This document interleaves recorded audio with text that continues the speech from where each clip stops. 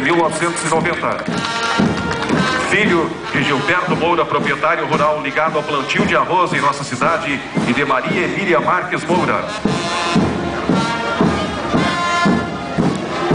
Aproxima-se do palanque oficial. Viaturas operacionais do 13º GAC. Entre as viaturas do grupo destaca-se o seu principal material, o buzeiro 155mm auto-revocado, recebido em 19 de março de 1982 e que encontra-se em perfeito estado de conservação e de operacionalidade.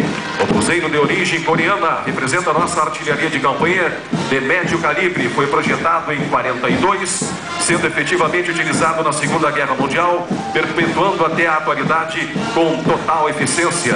O 13º GAC orgulha-se em possuir três baterias de obuses a meia dúzia de peças cada, o que torna o maior poder de fogo do Brasil, sendo reconhecido e prestigiado em todo o território brasileiro.